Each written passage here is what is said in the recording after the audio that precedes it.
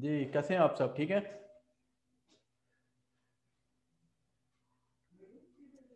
Sir वो बाबर कह रहे हैं मुझे ज्वाइन कर नहीं। बाबर क्या कह रहा है? बाबर का नहीं कनेक्ट नहीं हुआ ना? उसे ज्वाइन उसे ज्वाइन लिंक भेजा हुआ है ना उसको?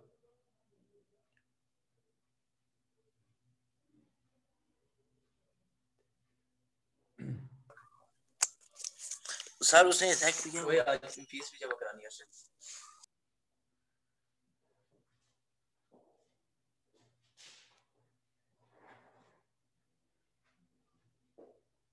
ठीक है।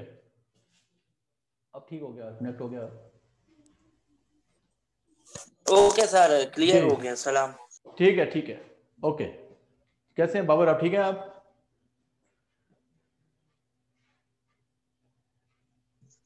जी सर अल्लाह का शुक्र चलें। अच्छा आज हम फिर क्लास को आगे लेके जा रहे हैं। आज आपका नया टर्न शुरू होना है फ्यूचर कंटिन्यूस टेंस से आज। नो टेंस हमने कर ली है कंप्लीट एग्ज़ाम्पल आपने काम भी भेज दिया है। जिसने जो काम नहीं भेजे वो काम भेज दिया करें। मैं ख्याल बाबर का काम मेरे ख्याल नहीं आ रहा मेरे पास होमवर्क सर मैंने कर दिया अभी सेंड किया आपने कर दिया चेक कर लूँगा क्लास के बाद। तो आज हमारा नया टेंस है, इसको हम ज़रा शुरू करते हैं। Number ten, tense number ten है। Future continuous tense.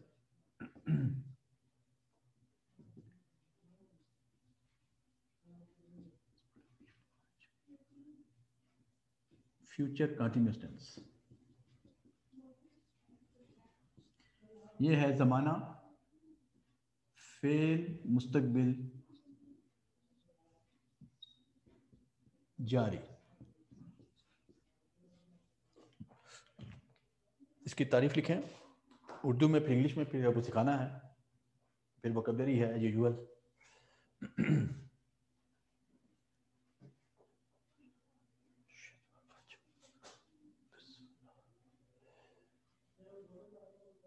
ज़माना, फेल मुस्तबिल जारी। Future continuous tense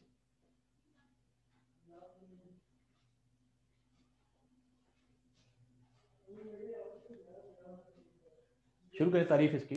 yes sir आगे। इस ज़माना में किसी काम का इस ज़माना में किसी काम का आने वाले वक्त में जारी करने के बारे में सोचा जाता है। जारी करने के बारे में सोचा जाता है।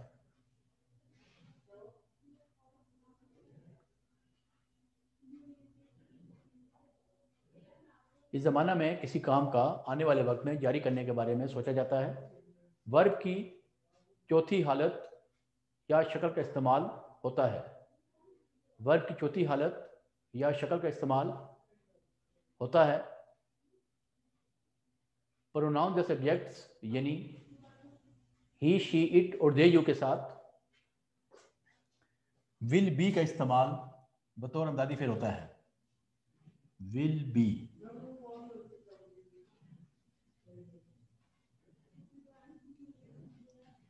विल बी का इस्तेमाल बतौर अमदादी फेल होता है। प्रोनाउन द सब्जेक्ट्स यानी आई और वी के साथ शेल बी का इस्तेमाल बतौर अमदादी फेल होता है।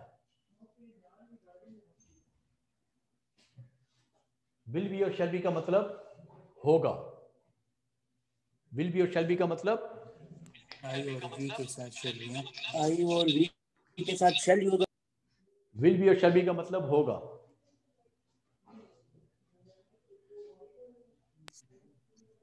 सर प्रोनाउन और सब्जेक्ट कौन सा यूज़ करेंगे?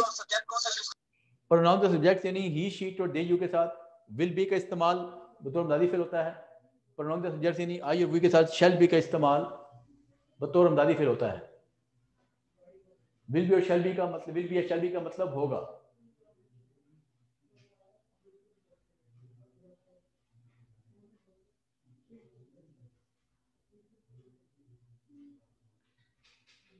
आगे लिखें इस टेंस की पहचान के लिए जुमला के आखिर में रहा होगा, रही होगी, रहे होंगे, रहे होगे का इस्तेमाल ज़रूरत के मुताबिक होता है। इस टेंस की पहचान के लिए जुमला के आखिर में रहा होगा, रही होगी, रहे होंगे, रहे होगे वगैरह का इस्तेमाल ज़रूरत के मुताबिक होता है।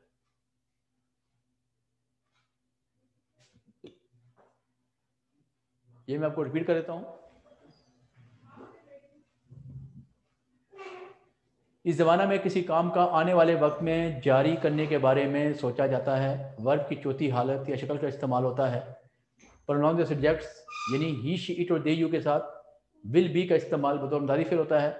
प्रोनाउन या सब्जेक्ट्स यानी आई और वी के साथ शेल बी का इस्तेमाल बतौर मदारी फिर होता है। विल बी और शेल बी का मतलब विल बी या शेल बी का मतलब होगा। इस टेंस की पहचान के लिए जुमला के आखिर में रहा होगा, रही होगी, रहे होंगे रहे होंगे वगैरह का इस्तेमाल ज़रूरत के मुताबिक होता है। ये जी आपका टेंस उर्दू में, अब लिखें इंग्लिश में। If we think about any work to continue in coming time then it is called future continuous tense if we think about any work to continue, continue spelling is C-O-N-T-I-N-U-E, C-O-N-T-I-N-U-E.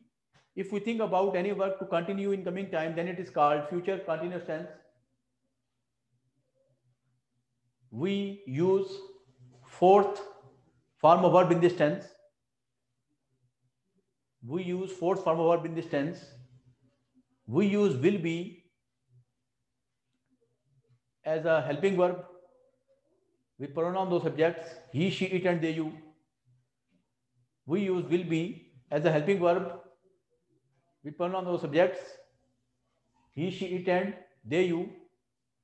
Full stop. We use shall be as a helping verb with pronoun with pronoun those subjects I and we.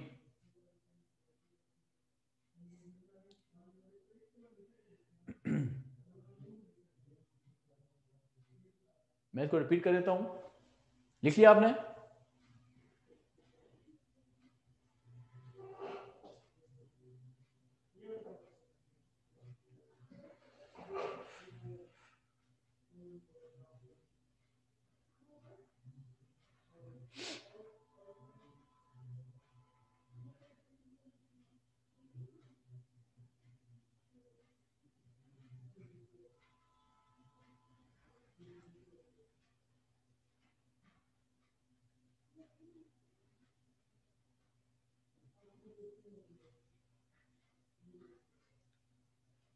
जी लिख लिया आपने? Sir repeat कर if we think about any work to continue in coming time then it is called future continuous tense full stop we use fourth form of work in this tense full stop we use will be as a helping verb with pronouns of subjects he she it and they you we use shall be as a helping verb with pronouns of subjects I and we ये है जी आपको लिखवाया मैंने आपको yes sir हो गया आगे sir हो गया इसका है फार्मूला फिर आपको सिखाना भी है देखें फार्मूला लिखें इसका formula subject oblique pronoun subject oblique pronoun या subject slash pronoun plus helping verb plus fourth form of verb plus object subject oblique pronoun plus helping verb plus fourth form of verb plus object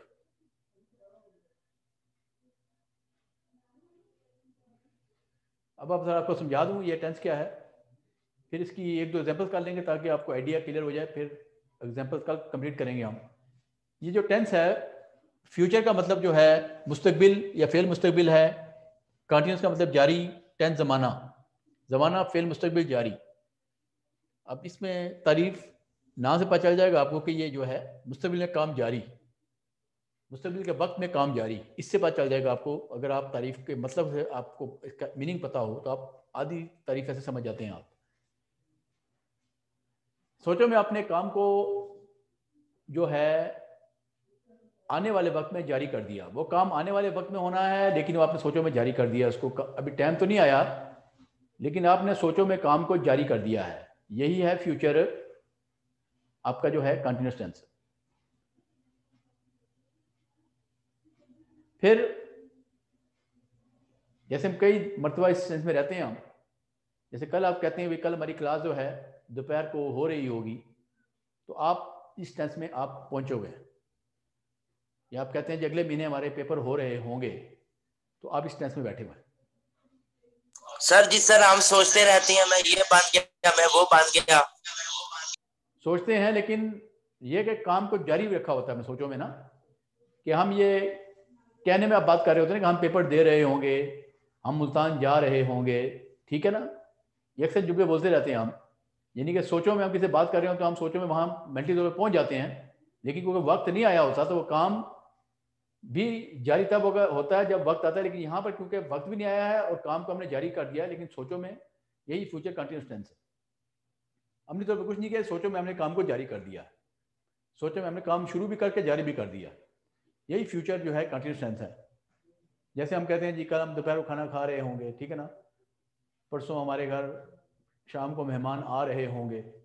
ये ये अक्सर जुमला बोलते रहते हैं, यही है फ्यूचर कंटिन्यूस टेंस फिर कंटिन्यूस की वजह से मैंने कहा था, चौथी फॉर्म जो है वर्क की, चौथी फॉर्म लाजमी आ जाएगी जो कंटिन्यूस टेंस में है। और इसके बाद विल बी का इस्तेमाल प्रोनाउंस जैसे ही शीट ईट और दे यू के साथ है, और आई ऑफ़ के शेल बी का इस्तेमाल तो फेल है। Will be shall be will be shall be का मतलब होगा। इस टेंस की पहचान के जुमले के आगे में रहा होगा, रही होगी, रहे होंगे। रहे होंगे वगैरह का इस्तेमाल, ज़रूरत के मुताबिक होता है। अब ये जो चीज़ है टेंस अब जैसे आपने फ्यूचर डेफिनेट में आपने ही शीट और दे यू के साथ विल लगा रहे थे, यहाँ पे बी का इजाफा कर देंगे आप, ठीक है? वहाँ पे आई और के साथ शेल लगा रहे थे, यहाँ पे साथ बी का इजाफा कर देंगे। समझ आई मेरी बात आपको? पॉइंट समझ आया आपको मेरा? यस सर तो ये इस तरह आपने सीखना है चीज़ों को। तो अब इसमें फिर आपके पास जो फार्मूला है मैंने लिखवाया आपको subject oblique pronoun plus helping verb plus fourth form of verb plus object अब इसके एग्ज़ाम दो एग्ज़ाम्पल कर लें आप ताकि कंसेप्ट क्लियर हो जाए आपको। इसके दो एग्ज़ाम्पल कर लें। He will be going to office वो दफ्तर जा रहा होगा। He will be going to office he will be going to office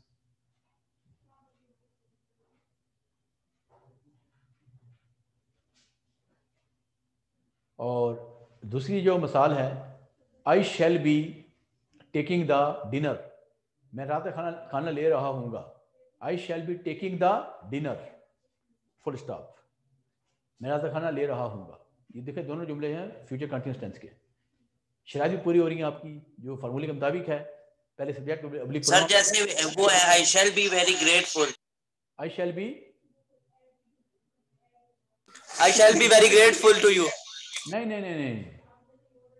वो आपका जो है ना वो आपका जुमला है सेंटेंस है टेंस नहीं है आपका ठीक है? टेंस की रूह से हम बना रहे हैं जुमले जो आपके।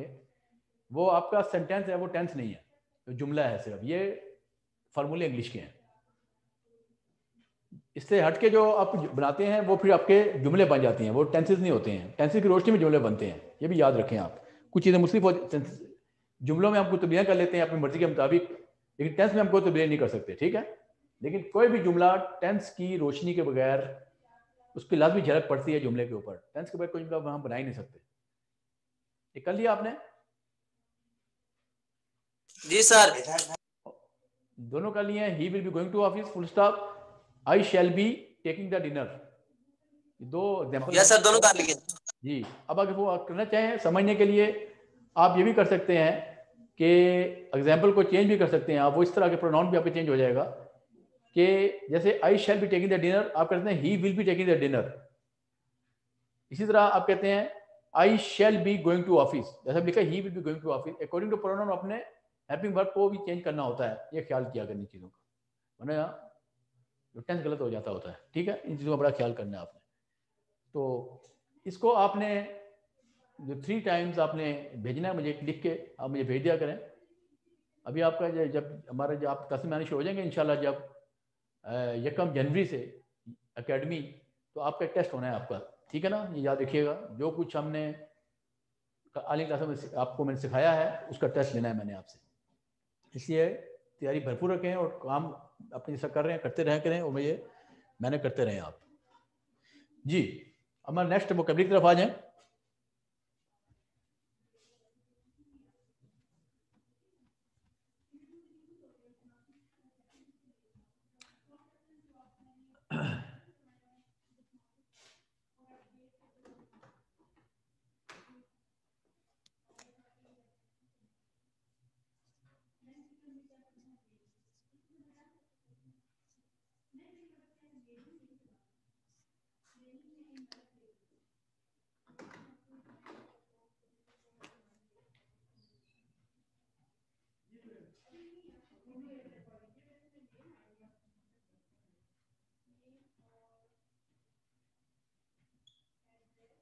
What are the meanings?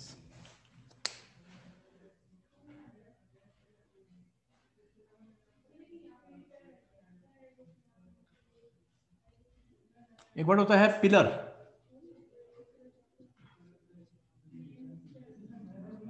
Pillar कहते हैं सतून जिस पे इमारत खड़ी होती है पिलर सतून है डोम, जो मस्जिद का गुंबद होता है गुंबद। डोम।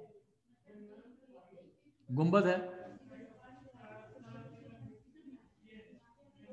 और इसके बाद एक वर्ड है कोल्टी यार्ड ये आपका घर में जो सेन होता है, खुली जगह होती है। कोल्टी यार्ड सेहन। कोल्टी यार्ड सेहन है। और फ़ील्ड। फ़ील्ड एक होता है खेत। खेत को फ़ील्ड कहते हैं। एक फ़ील्ड कहते हैं मैदान और एक होता है शोभा। कहते हैं आपका फ़ील्ड क्या है? शोभा। खुले मैदान को भी, मैदान को भी फ़ील्ड कहते हैं, खेत को भी फ़ील्ड कहते हैं, शोभा को भी फ़ील्ड कहते हैं।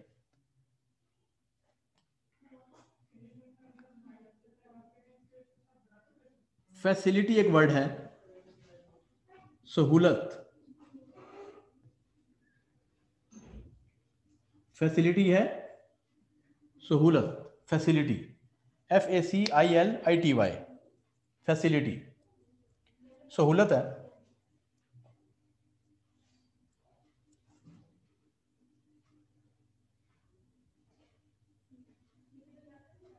Pillar dome courtyard field facility. लिया आपने? यस सर पाँच हो गए आपके। अच्छा। एक वर्ड होता है सस्पिशियस जो बंदा वहमी होता है उसे कहते हैं बंदा सस्पिशियस है वहमी। जो बात बात पर वहम करता है सस्पिशियस वहमी और प्रीशियस कहते हैं कीमती। जो भी चीज़ महँगी होती है वो कीमती होती है। प्रीशियस कीमती। डायमंड कहते हैं हीरा। डायमंड सर प्रीशियस पहले कराया हुआ है। हो गया था? अच्छा इसको छोड़ दें। कीमती पहले कीमती। सर कीमत कीमती नहीं कराया। जी? प्रीशियस नहीं करवाया था? करवाया था। सर कराया हुआ लिख लें नहीं करवाया था कोई बात नहीं डबल एक वर्ड एक्स्ट्रा कर दूँगा आपको। लिख लें आप। डायमंड हीरा गोल्ड कहते हैं सोना। गोल्ड सोना। और सिल्वर कहते हैं चांदी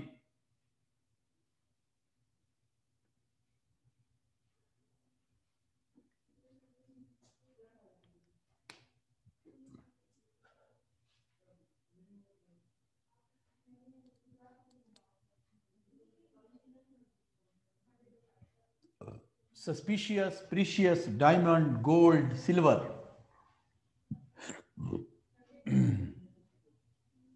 हो गया?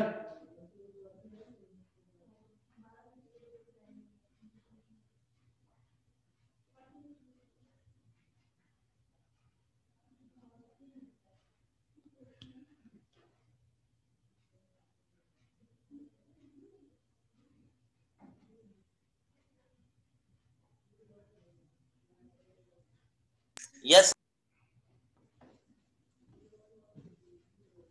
एक वर्ड है लॉकडाउन जैसे कि कोरोना से लॉकडाउन लगा। लॉकडाउन कहते हैं नाकाबंदी। Lockdown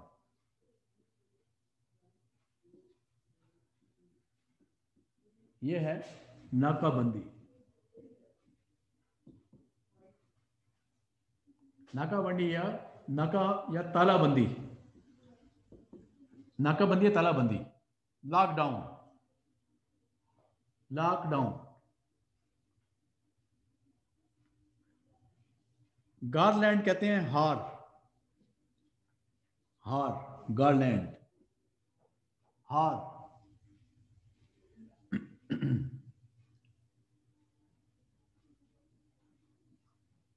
Sir garland garland G A R L A N D garland violin. ये कहते हैं गटार, वायलन। इंग्लिश का है ये, violin guitar. V I O L I N violin guitar. Stick कहते हैं छड़ी। स्टिक, छड़ी। ब्लाइंड कहते हैं अंधा। जिसकी आँखें ना हो। उसे कहते हैं ब्लाइंड है, बंदा ब्लाइंड है, अंधा। ब्लाइंड है, अंधा। Lockdown garland violin stick blind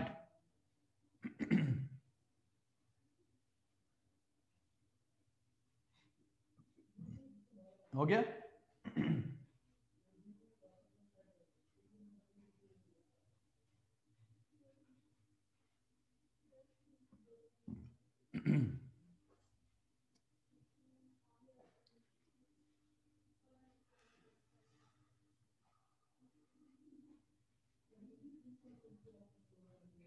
yes sir हो गया? कितने वर्ड हो गए हैं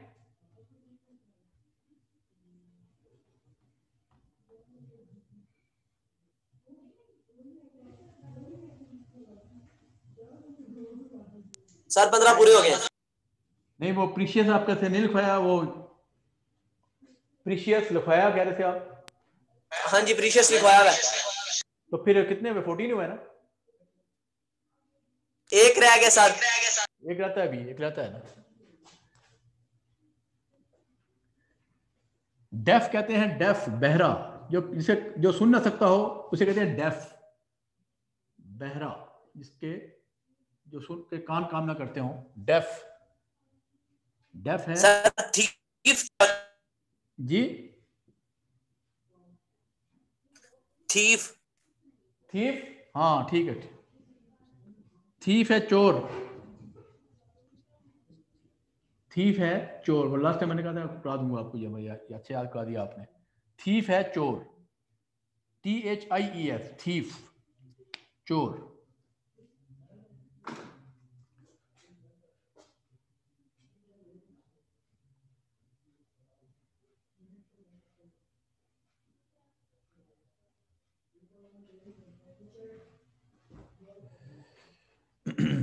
अब इसको सीधा याद, देख ले अभी। प्रैक्टिस भी कल कर लेंगे। तीन दफ़ा आपने कभी करके मुझे भेजनी है होमवर्क जैसे भेजते हैं मुझे आप। दो तीन बार देखें आपको पूछता हूँ जवानी प्रैक्टिस करवाता हूँ अभी आपकी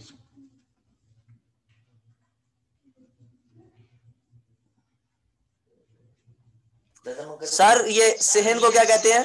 किसको? सेहन को। सेहत है हेल्थ है हेल्थ हेल्थ कहते हैं सेहत. H E A L T H sir सेहन सेहन. घर सहन? सहन? घर का सेहन. हाँ courtyard courtyard courtyard C O U R T Y A R courtyard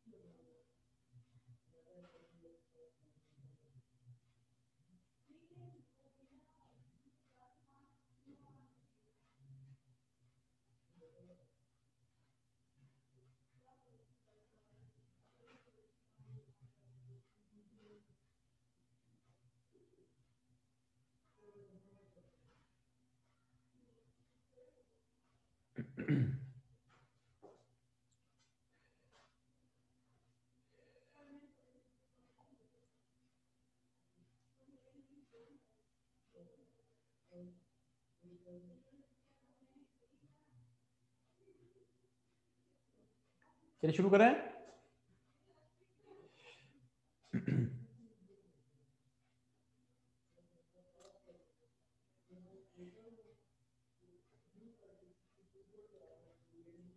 या मुझे बताएँ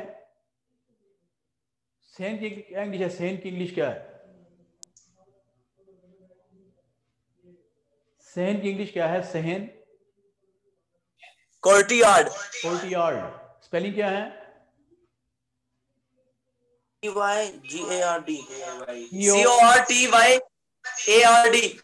कोर्टियार्ड कोर्टियार्ड प्रैक्टिस हो रही है देख के करें कोई मसला नहीं। प्रैक्टिस कोर्टियार्ड अब मुझे उर्दू के अल्फाज जो है आप जो है ना बोले मैं आपको इंग्लिश में बताता हूँ प्रैक्टिस हो जाएगी आपकी। उर्दू में बोले आप एक एक वर्ड बोले आप। शुरू से। सुतून। पिलर। पिलर। गुंबद। डोम। सेहन। कोर्टियार्ड मैदान। फ़ील्ड। खेत। फ़ील्ड। शोभा। फ़ील्ड। सहूलत सहूलत। फैसिलिटी?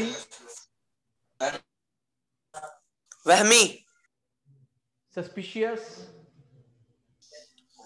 कीमती। प्रीशियस? सोना। गोल्ड? हीरा। डायमंड? चांदी। सिल्वर? नाकाबंदी। लॉकडाउन? हार। ये क्या है? हार। हार garland guitar. Violin. Guitar. Violin violin. छड़ी। स्टिक। अंधा। ब्लाइंड। बहरा। डेफ।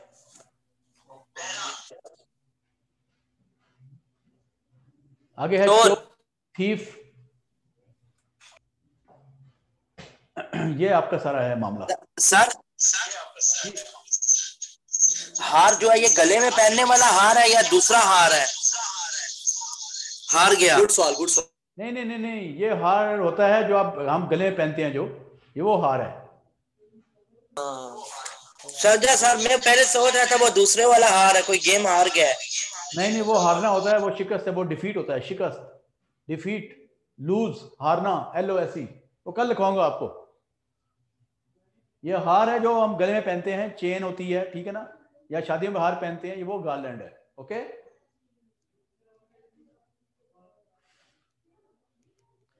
तो और कुछ सवाल आज की क्लास के हवाले से? सर जैसे अब मैं बोलूँगा उमर फादर बिग क्या बोलेंगे?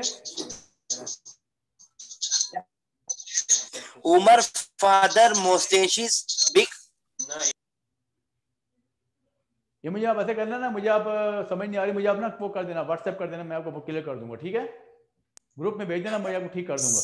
सर जी मैं मैं बोल रहा हूँ ना कि आवाज़ सही नहीं आ रही ना problem father, mustaches is Urdu में उर्दू में बताएँ उर्दू में उर्दू में इंग्लिश टूटी असल में अल्फाज आपकी बरात टूट रही है। उर्दू में बताएँ मुझे जुमला। उमर के अबू की मूछें बड़ी बड़ी हैं। हाँ अच्छा अच्छा ठीक है ठीक है। इसका जो बनेगा सेंटेंस बनेगा ना कि Umar father has long mustaches sir Umar होगा या सिर्फ़ उमर होगा? उमर फादर नहीं उमर फादर। उमर उमर का वालिद। Umar father has long mustache sir comma Umar लगेगा। कोमा और उमर लिख के कोमा फिर है। उमर के बाद लगेगा कोमा उमर के बाद है ये जैसे ना ये ये उमर कोमा ऐसे है ऐसे उमर फादर ओके इस तरह। Has has long has long mustache mustache ये। Umar father has long mustache. Sir किसी को बोलेंगे कि यार तूने चोरी की है। यू आर थिफ नहीं नहीं नहीं नहीं यू स्टोल तुमने चोरी की। You stole S T second form steal किया स्टील चुराना। स्टोल चोरी की। You stole S S T O L E okay या यू आर थीफ तुम चोर हो। ठीक है? इस तरह कर लेना। You are thief yes sir इस तरह कर लें। यू आर थीफ तुम चोर हो। इस तरह। हाँ जी कुछ सवाल हो और कहीं आज की क्लास के हवाले से? नो सर क्लियर है। बस ठीक है मुझे होमवर्क करके भेजेगा इंशाल्लाह। फिर करके कल देखते हैं। Okay okay God bless you अल्लाह हाफिज अल्लाह हाफिज wish you good luck sir thank you अल्लाह हाफिज अल्लाह हाफिज